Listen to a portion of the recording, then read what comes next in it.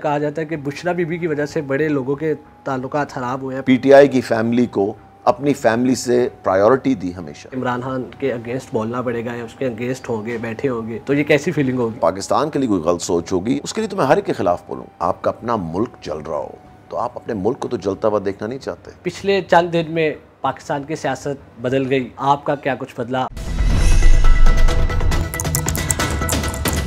असलम नाजिन Urdu point के साथ मैं हूँ आपका मेज़बान उसाफ अली ख़ान। मेरे साथ मौजूद है पाकिस्तान के पंजाब के लाहौर की सियासत का बड़ा नाम और सबक सूबाई वज़ीर तालीम मुराद राज साहब। पिछले चंद दिन में पाकिस्तान की सियासत बदल गई। आपका क्या कुछ बदला और कैसे पिछले चंद दिन गुजरे? देखिए, जब से नौ मई का हुआ ऑब्वियसली पाकिस्तान की पॉलिटिक्स में काफ़ी चेंजेस आए हैं, उसकी वजह से स्पेशली हमारी जो सबका पार्टी थी उसके अंदर। और कुछ चीज़ें ऐसी हुई जिसको कभी भी नहीं हम समझते थे कि किस लिमिट तक जाएँगी और एक एक्सट्रीम पे चली जाएँगी। तो उसकी वजह से जो भी चेंजेस हम समझते थे आने चाहिए स्पेशली पर्सनली तो आपने देखा कि कितने लोगों ने वो चेंजेस को फॉर सम वन रीज़न और दी अदर उन्होंने उसको एक्सेप्ट किया और उन्होंने कहा हाँ जी, क्योंकि हम कभी भी नहीं चाहते थे कि पॉइंट इस एहतजाज करना जो है वो हर एक का एक कॉन्स्टिट्यूशनल राइट है। मगर उसको उस पॉइंट तक ले जाना जहाँ पे आपका अपना मुल्क जल रहा हो तो आप अपने मुल्क को तो जलता हुआ देखना नहीं चाहते। और दूसरी चीज़ ये है कि आप कभी भी नहीं चाहते कि आप अपने कॉन्स्टिट्यूशनल राइट को उस तरह इस्तेमाल करें कि वो एक लिमिट क्रॉस कर जाए और वो हर किस्म का नुकसान आपके मुल्क को पहुंचाना शुरू करे। क्योंकि at the end of the day बैठ के टेबल पे ही बात होती है ना। और अभी तो टेबल की बात कर रहे हैं ना। देखें टेबल पे बैठ के मसले हल करने का एक ही रास्ता है कि सबके साथ बैठा जाए। और उन्हीं लोगों के साथ बैठना है जो इस मुल्क के अंदर हैं। आपने किसी और के साथ तो नहीं बैठना। सो so, इसलिए मैं समझता हूँ कि at the end of the day आपको प्रोटेस्ट ज़रूर करना चाहिए। मैंने पंद्रह साल में से अपनी सियासत के प्रॉब्ली बारह साल सड़कों पे ही गुजारे हैं। और आ, मैं ये समझता हूँ कि हमें आ, अब भी जब हम कह रहे हैं कि टेबल पर बैठना चाहिए था तो हमें टेबल पर बैठना बहुत ज़रूरी था। और आ, हमें एहतजाज करना भी ज़रूरी था मगर एक लिमिट के अंदर रह के रिकॉर्ड करवाएँ और उसके बाद नेगोशिएशंस के लिए बैठ जाएँ। आपने किया था प्रोटेस्ट किधर? नौ मई को। नहीं नौ मई को मैं सिर्फ़ लिबर्टी तक था उससे आगे मैं नहीं गया था। अच्छा। क्योंकि मैं मैं तो पहले ऑब्वियसली क्योंकि उस वक्त मेरी सिचुएशन ज़रा चेंज हो गई भी थी सो दैट्स वाई अच्छा आपने कहा था कि आप कोई अलग ग्रुप बनाएँगे और उसके बाद देखता हूँ आपने यूटर्न लिया आपने कहा आप इस्तेकाम पाकिस्तान में शामिल हो गए। तो ये सारा क्या मामला बिल्कुल भी कोई यू टर्न नहीं था। सबसे अच्छा। पहले हम उससे बात शुरू करते हैं। कोई यू टर्न नहीं था। हमने कहा था हम एक प्लेटफॉर्म बनाएँगे जी। जहाँ पे पीटीआई से निकल के लोग या कोई और लोग भी उस प्लेटफॉर्म पे आना चाहें जो लाइक माइंडेड हो उनके लिए। वो प्लेटफॉर्म हमने बनाया शुरू किया। उसके बाद जब हमें ऑप्शन मिली कि इस्तकाम पाकिस्तान में भी हमने वही लोग देखे जो पहले पीटीआई के अंदर थे सारे। आ, आपने देखा कोई बाहर वाला parliamentarian M N M P A या मिनिस्टर कोई भी सारे पीटीआई के लोग थे। तो दैट्स वाई वी डिसाइडेड के I think we should join them सोचती जब आपने प्रेस कॉन्फ्रेंस की तो आपकी आँखें अशबार थी बड़ी वो आपकी पिक्चर वायरल हुई और उस प्रेस कॉन्फ्रेंस में आपने कहा कि मैं सियासत छोड़ने का ऐलान कर बिल्कुल नहीं मैंने कहा। मतलब इस किस्म बिल्कुल नहीं कहा दोबारा सुने आज जा ला ताल्लुकी कुछ ऐसा कुछ बिल्कुल मैंने एक लफ्ज़ नहीं कहा था मैंने कहा था उस दिन अच्छा। मैंने कह दिया था अच्छा। कि देखें आप इमोशनल इसलिए होते हैं क्योंकि एक पंद्रह साल का साथ छोड़ रहे हैं। अच्छा। पंद्रह साल बहुत टाइम होता है ज़िंदगी में किसी चीज़ को भी देना। जो कुर्बानियाँ दी हमने, मैंने दी, मैंने पीटीआई की फैमिली को, अपनी फैमिली से प्रायोरिटी दी हमेशा। मैंने हमेशा पीटीआई को आगे रखा, अपनी पर्सनल फैमिली और पर्सनल लाइफ को पीछे रखा। आपने वसाइल लगाए, आपने कुर्बानियाँ दी, आपने टाइम दिया, आपने हर चीज़ की पंद्रह साल। तो ऑब्वियसली जब आप राहें जुदा करते हैं तो ऑब्वियसली किसी भी सिचुएशन में आप हों जहाँ पे आपने पंद्रह साल इतनी एफर्ट की हो तो ऑब्वियसली बंदा इमोशनल हो जाता है। पंद्रह साल आप एक जगह दे दें तो आपकी बड़ी स्ट्रॉन्ग जैसा कि आप कह रहे हैं कि इमोशनल अटैचमेंट हो जाती है तो राह जुदा करने की कोई हास हो जाती देखिए नाइन्थ में दैट वॉज़ द रीज़न क्योंकि नाइन्थ में जब हुआ तो I think nobody was ready for it और हम कभी भी इसके हक में नहीं थे और इवन दो कि हम एक माइनॉरिटी थे पार्टी के अंदर भी जो कभी भी नहीं चाहते थे कि चीज़ें किसी भी एक्सट्रीम पे जाई जाएँ। मगर ऑब्वियसली चीज़ें दूसरी तरफ़ चली गई सो इसलिए। सिर्फ़ एक रीज़न नौ मई था? बिल्कुल बिल्कुल। अच्छा, उसके अलावा क्योंकि कहा जाता है कि जी मुराद राज साहब को टिकट नहीं दिया गया था उनके हल्के से इस बार तो इसी वजह से वो पहले से ही अलग हुए हुए थे नाराज़ थे उनका अलग धरा बना हुआ था तो इसी वजह से उनको तो एक मौका मिला और उन्होंने पार्टी से लैदगी का ऐलान कर दिया। देखें टिकटें मिलना ना मिलना मैं 2013 में भी एमपीए था मैं 2018 में भी एमपीए था मैं मिनिस्टर भी रह चुका था। दो दफ़ा मिनिस्टर बना हूँ एक ही टर्म के अंदर। सो so, ये बड़ी छोटी चीज़ें हैं कंपेयर टू नाइन्थ में। टिकट मिलना ना ना मिलना ये बिल्कुल नॉन इशू था उस वक्त। मैं तो पार्टी में ही था। सो so, इसलिए मैंने अगर छोड़नी होती तो फिर तो मुझे ईद पे ही पार्टी छोड़ देनी चाहिए थी जब मुझे टिकट नहीं मिला था। तो पार्टी तो छोड़ने का कभी उस वक्त हमने सोचा भी नहीं था। मगर जब ये चीज़ें हुई और आप देख रहे थे कि एक चीज़ बढ़ती जा रही है बढ़ती जा रही है कम नहीं हो रही। आपने देखा जो पहले भी जमान पाक के अंदर हो रहा था सब चीज़ें हो रही थी।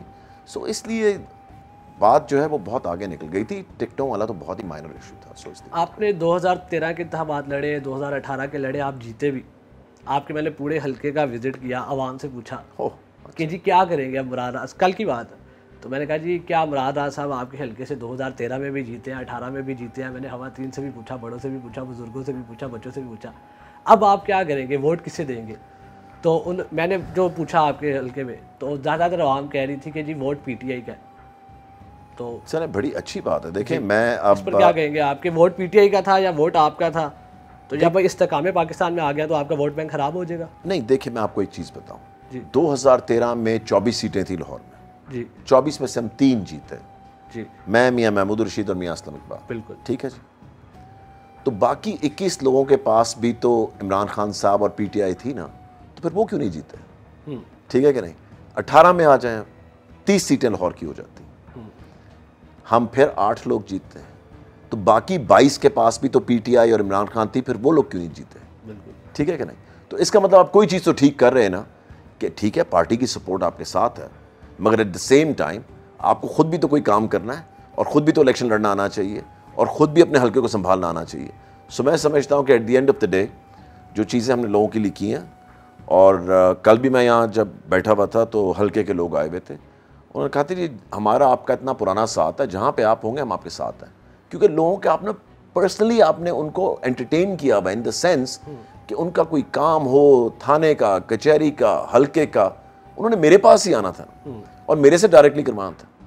पार्टी से तो जाके नहीं करवाना था डायरेक्टली मेरे पास पर्सनली आना था। सो पर्सनल रिलेशनशिप जो है पंद्रह साल के वो इस तरह नहीं ख़त्म हो जाते क्योंकि जी आप इधर से आ, एक पार्टी से आप दूसरी पार्टी में आ गए क्योंकि वाबस्तगी तो वही है ना आपकी। और उनको पता है कि जिस तरह का मैं रिस्पॉन्स उनको देता हूँ तो वो चीज़ें भी उनको पता है। सो so, इसलिए मेरे ख्याल से जो आपके पर्सनल रिलेशंस हैं और जो आपने कोशिश की है आम आदमी की ज़िंदगी में डिफरेंस डालने की और जितने काम हमने हल्के में करवाए हैं आई थिंक uh, इतना बड़ा इशू तो नहीं होना चाहिए। देखते हैं आगे चल के इंशाल्लाह। अच्छा तो आप कह रहे हैं कि इतना कोई खास फ़र्क नहीं पड़ेगा? नहीं फ़र्क तो पड़ेगा। फ़र्क पड़ेगा। मगर देखें अ, मेहनत वहाँ की थी तो मेहनत यहाँ पे भी करेंगे। तो इंशाल्लाह ताला देखेंगे फिर क्या बात है। आप कॉन्फिडेंट है अपने हल्के की आवाम को लेके? देखें अ, अभी तो मैं हल्के की बहुत अपने सिर्फ़ कोऑर्डिनेटर्स वगैरह से मिल रहा हूँ। अच्छा। तो जैसे ही थोड़ा सा मुझे टाइम और मिलेगा ऑब्वियसली वापस हल्के में जाके दोबारा क्योंकि ऑब्वियसली ईद के बाद से तो मैं कोई इस तरह की पॉलिटिक्स हो नहीं रही है। सो uh, so, इसलिए मैं गया नहीं हूँ हल्के में इतना ज़्यादा। अ, मगर मैं लोगों से मुलाकातें मेरी रही हैं। सो so, जब दोबारा वापस जाएँगे तो सबको मेरा पता है देखो मैं आपको ये चीज़ बताऊँ कि आप पार्टी चेंज करते हैं मगर आपका नज़रिया तो नहीं बदलता ना। अगर मैं पॉलिटिक्स में आया था आम आदमी की ज़िंदगी को बेहतर करने के लिए तो मैं इधर अब पार्टी चेंज कर लूँ तो मैं इसका कहूँगा कि मैं अब आम आदमी की ज़िंदगी चेंज नहीं करना चाहता। वो तो नहीं हो सकता ना। तो नज़रिया तो वही है मगर ये है कि आपका प्लेटफॉर्म चेंज हो जाता है मगर आपका माइंड सेट तो कभी चेंज नहीं होता ना। तो माइंड सेट तो वही मेरा सर्वे गलत है? नहीं आपका सर्वे ठीक हो सकता है। मैं मैं तो मैं किसी को चैलेंज नहीं करता जी। अच्छा। ठीक है ना? मैं किसी को चैलेंज आपका सर्वे आपने किया है। जी। आप ठीक कह रहे हो। मतलब वो अलग साइड है। अच्छा आप पीटीआई में रहे और आप बड़े सरगर्म रहे पाकिस्तान तहरीक इंसाफ में। और आप अलग ही इमरान खान साहब को हर जगह डिफेंड करते थे। अब इस तकाम पाकिस्तान में तो इधर कैसा फील करेंगे कि इमरान खान के अगेंस्ट बोलना पड़ेगा या उसके अगेंस्ट होंगे, बैठे होंगे? तो ये कैसी फीलिंग होगी? देखें जो पॉलिसी मैटर है, उस पर जो भी गलती करेगा या गलत पाकिस्तान के लिए कोई गलत फैसला होगा या पाकिस्तान के लिए कोई गलत सोच होगी या पाकिस्तान की किसी पॉलिसी के ऊपर जिस पर पाकिस्तान को नुकसान हो उसके लिए तो मैं हर एक के ख़िलाफ़ बोलूँगा। सो so, इसलिए वो दैट इज़ नंबर वन अगर पाकिस्तान है तो हम लोग हैं वरना तो ये सारी गपशप है इन द सेंस के और अगर हम लोगों के लिए कुछ नहीं कर सक रहे और लोगों के नुकसान की बात हो रही है तो बिल्कुल हर चीज़ पे बात की जाएगी। अच्छा इस बात में कितनी सदाकत है कहा जाता है कि बुशरा बीबी की वजह से बड़े लोगों के ताल्लुक ख़राब हुए हैं पाकिस्तान जो अभी धड़ा अलग हुआ हुआ है। और कहा जाता है कि आपका भी इसी में शायद नाम है अब मुझे ज़रा बताते हैं। तो इस बात में कोई सदाकत है आप क्या कहेंगे? मेरे पास तो कोई इन्फॉर्मेशन या कमेंट नहीं है इस चीज़ के ऊपर सो आपके पास इन्फॉर्मेशन होगी आप मीडिया क्या है अच्छा। आप इस बात को डिनाई कर रहे हैं या कोई एक्सेप्ट करते हैं? मैं इस पर कोई कमेंट ही नहीं दे रहा हूँ सो इसलिए। जहांगीर तरीन साहब अभी गए हुए हैं इंग्लैंड गए हुए हैं। वहाँ पे कोई नवाज़ शरीफ साहब से मुलाकात कह रहे हैं कि जी उनकी मुलाकात होगी कोई सीट एडजस्टमेंट होगी तो बिल्कुल भी नहीं मेरी जहांगीर साहब से मुलाकात हुई थी अच्छा। जाने से पहले और इस तरह की कोई चीज़ भी नहीं है। हम एक इंडिपेंडेंट पार्टी है और इन ताला आप देखना पूरा तगड़ा इलेक्शन लड़ेंगे। और कोई ऐसा फैसला नहीं इस वक्त हुआ कि जी आप, हम नून लीग से इस वक्त कोई बातचीत करें या पीपल्स पार्टी से। इलेक्शनों में करीब जाके कोई और फैसला होता है, उसका आप कभी भी नहीं कह सकते। अब तो पाकिस्तान की पॉलिटिक्स आवरली चल रही है, हर घंटे के बाद कोई ना कोई चेंज आता है। मगर इस वक्त हमारा कोई इस तरह का प्रोग्राम नहीं ओन चौधरी और लगड़ियाल साहब को कहा गया पार्टी की तरफ़ से इस्तेकाम पाकिस्तान की तरफ़ से कि रिज़ाइन किया जाए काबीना से उस पर क्या कह गया उन्होंने रिज़ाइन कर दिया। जी तो दोनों ने कर दिया। इस फैसले पर। जी मेरे ख्याल से बहुत अच्छा फैसला। मैं तो दोनों को बल्कि कहा कि बहुत अच्छा फैसला किया क्योंकि देखिए हम अब इंडिपेंडेंट पार्टी हैं हम्म। और इन ताला हमने इकट्ठे इलेक्शन सबने लड़ना है सब कुछ करना है और इस पार्टी को आगे लेके चलना है। तो हमें पीडीएम से डिस्कनेक्ट होना बहुत ज़रूरी था। सो मेरे ख्याल से नुमान रंगरयाल साहब और ओन चौधरी साहब दोनों ने ज़बरदस्त फैसला किया और पार्टी का ज़बरदस्त फैसला था। सो इसलिए आई थिंक बहुत अच्छी बात है। फवाद चौधरी साहब बड़े खामोश नज़र आ रहे हैं। इस्तेकाम पाकिस्तान के अलावा जो परवेज़ हटक साहब और कहा जा रहा है शायद फवाद चौधरी उस धरे में हो जो परवेज़ हटक साहब एक बना रहे हैं पार्टी में तो आप बना रहे हैं वो भी एक पार्टी बना रहे हैं।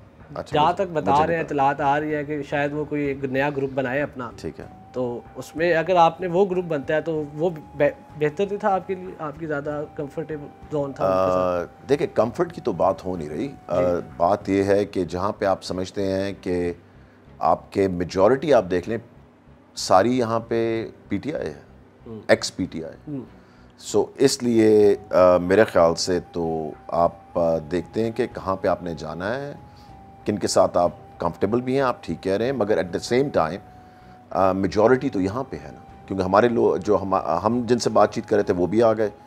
पहले से यहाँ पे और भी मौजूद थे M N M P S so इसलिए आई थिंक और हम सारे पार्लियामेंट में इकट्ठे रहे हुए हैं सो इसलिए।